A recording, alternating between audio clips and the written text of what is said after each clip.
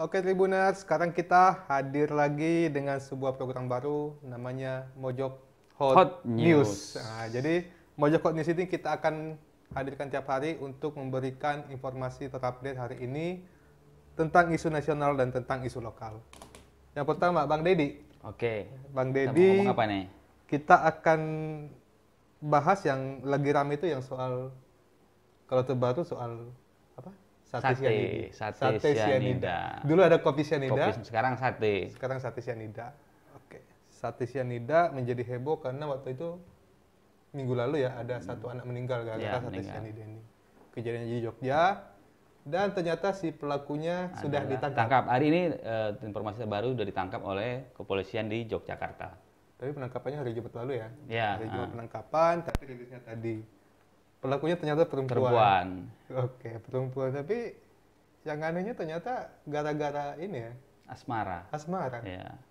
Itu sangat absurd di masa ini ketika orang harus mau meracuni mantan pacarnya. Mantan pacar. Oke. Jadi kalau kita lihat fenomena ini sebenarnya eh, setelah diungkap polisi ternyata uh mengejutkan banyak pihak. Pertama tentu saja eh, T ya yang Iya. menjadi tujuan pengiriman Mhm. sate beracun, sate sianida yang ternyata adalah Mantan pacar. eh, per- profesinya dulu. Profesinya Iya. adalah kebetulan polisi, Polisi. ya kan. Oke. Dan Sehingga muncul asumsi aneh-aneh ya. nah betul. Bahwa ini sengaja menyasar polisi segala macam. Ya. Oke, padahal bukan nggak sampai sejauh itu. sejauh itu ternyata urusan Asmara. asmara. Oke, urusan asmara, tapi sudah sempat berpikir banyak hal karena itu mengandung racun sianida dan pu- diungkap kemudian ternyata urusannya hanya soal asmara. Eh, itu yang terbaru soal oke. itu ya. Tapi memang perlu kita soroti adalah bagai eh, ini menjadi menarik karena pertama sianida ya. Iya. Karena dulu eh, kopi sianida yang melibatkan Mirna sama siapa satu lagi ya eh, kopi sianida Jessica. dulu Jessica. Jessica dulu kita tahunya juga sianida itu ketika kasus Ya, itu ya. kopi kopi itu. Eh, dia membeli secara online Ya. Artinya ini kan harusnya ada regulasi yang perlu diatur oleh pemerintah bagaimana supaya benda-benda seperti ini itu tidak bisa dijual bebas. Jangan sampai itu. bisa bebas itu. Iya, Ya betul. Karena kalau dijual sebebas itu ya artinya akan semudah itu juga nanti untuk menghilangkan orang dengan cara seperti itu. Iya. Artinya sih bukan nggak boleh ya benda itu ya, tapi Mm. regulasinya siapa Regulasi, yang boleh beli Siapa gitu. ya. boleh. ah. Iya. Dan ini kan kalau membeli secara online ini kan malah justru makan akan lebih lebih parah ya, lebih bebas karena Lebih bebas.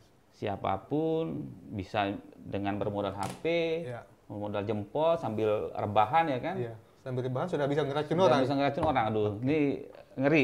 Khawatirnya ini bisa menjadi menginspirasi kejahatan-kejahatan Ya. lain. Tapi beruntunglah seperti kata eh, siapa penulis bahwa tidak ada kejahatan yang sempurna Iya. sehingga bisa terungkap. Gitu Bung Suang. Betul Bang Dedi. Artinya sih ini kemudian harusnya menjadi satu sisi adalah soal kasusnya sendiri, satu sisi adalah soal jenis racunnya tadi yang kemudian dijual bebas ternyata Iya. mudah mendapatkan lah Sudah bahasanya mendapatkan ya. ya. mudah mendapatkan sehingga artinya perlu sebuah regulasi lah ya atau penertiban mungkin kalau sudah ada regulasinya aku nggak tahu juga sih ada Hmm. regulasinya atau enggak tapi mungkin penertiban lah terhadap yang jual-jual bebas ini Ya, harusnya ada. Dia kan biasa kan itu di sama sih kita misalkan kayak obat itu kan ada label- label-labelnya Ya. kan. Eh, kode ini, kode ini Ya. tidak bisa di harusnya dengan resep dokternya seperti itu. Iya. Sebenarnya sih sederhana, cuman nggak tahu ini bagaimana bisa dijual secara online. Seperti itu sih kalau saya melihat. tapi ya namanya di negara plus 62 ya Ya, ya katanya lewat resep dokter juga kadang ya mudah aja dapatkannya Ya, ya. Ya, ini kembali sih kepada ya kita berikhtiar supaya terjauh dari itu, terjauh sebagai pelaku, apalagi menjadi korban. Oke. Itu kayaknya ya yang kita bahasan kita soal apa tadi? Sate Iya, sianida. Tapi sebentar, eh, Bang Suang. Eh, mumpung saya ingat, soal racun ini sebenarnya kita di Jambi, Ya. masyarakat Tempo dulu pun sangat mengenal racun. Oke. Ya, Apa upas. Ada. Jadi upas. Ha-ha. Jadi eh, dalam kalau kita baca sejarah itu memang Jambi itu dikenal dengan eh, hukum undang apa ya, undang 8 teliti gitu. loh. Yang salah satunya itu adalah membahas soal racun. Mhm. Artinya bahwa racun itu sendiri memang sejak zaman dulu dikenal memang untuk ya membunuh orang gitu. Oke. Ada ya bukan kearifan lokal ya, tapi memang hasanah di lokal itu memang ada memanfaatkan eh, sesuatu yang ada di bumi lokal itu Hmm. dimanfaatkan untuk menjadi racun. Artinya tuh memang yang sudah itu kayaknya racun organik gitu ya, bukan racun Ya, kimia tentu, ah. racun organik. Orga- Ya. Organik seperti itu. Ya, Oke, itu menarik. Artinya sih sebenarnya ya banyak hal ya yang bisa bisa didapatkan secara organik dan Ya. juga secara kimiawi. Ya, Oke. Lalu yang kedua kita bahas apa nih?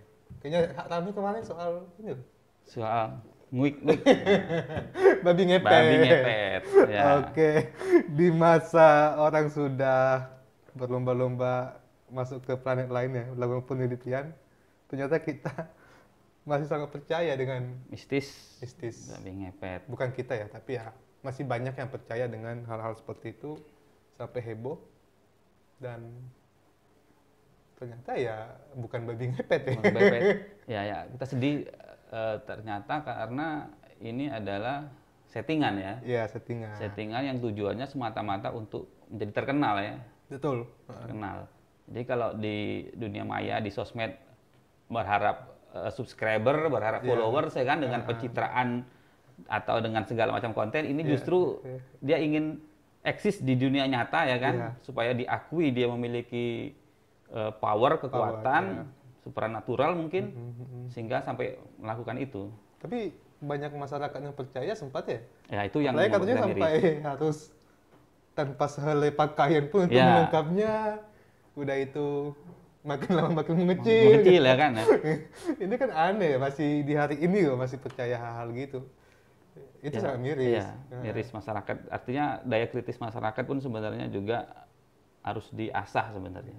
Ya artinya sih sebenarnya sih mengajarkan kita supaya jangan terlalu mudah lah ya mempercayai hal-hal yang jauh dari nalar ya. Iya. bagaimanapun ya kita diberikan nalar ya mau nggak mau itu yang utama kita kita butuh sebenarnya ya kita kita kita bedah pakai nalar kita sebenarnya ya Iya. jangan jangan semudah itu percaya orang-orang yang ya.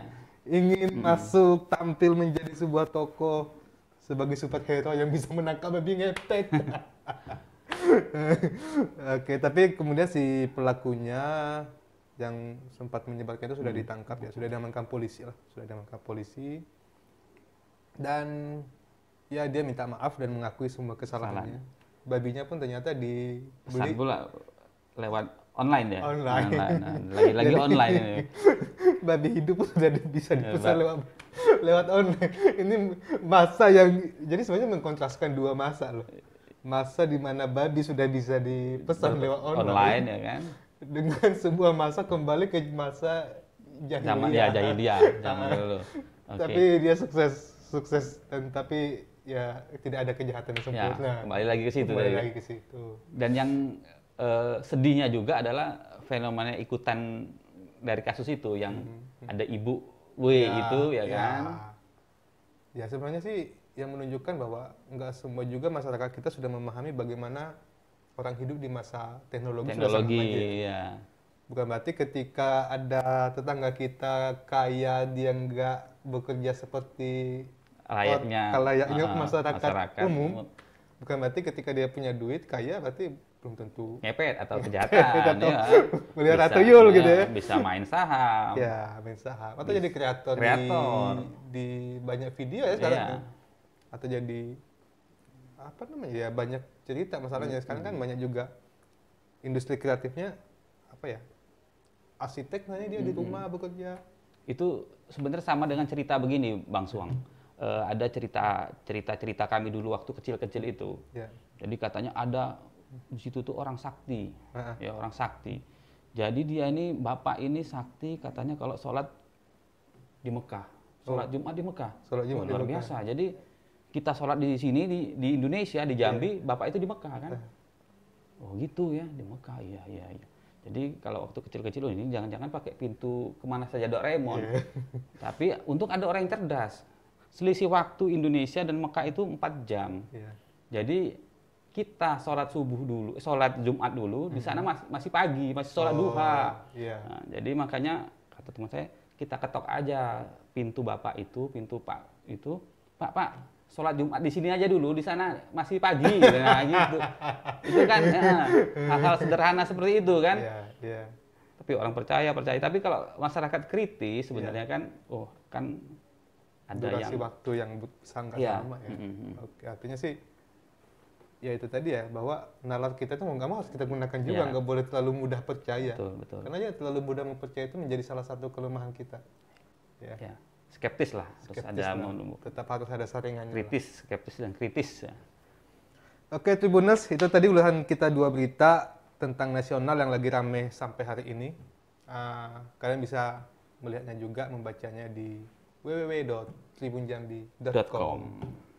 Oke, saya Suang Sitanggang. saya Dedi Rahmawan Sampai jumpa di Mojok Hot News selanjutnya.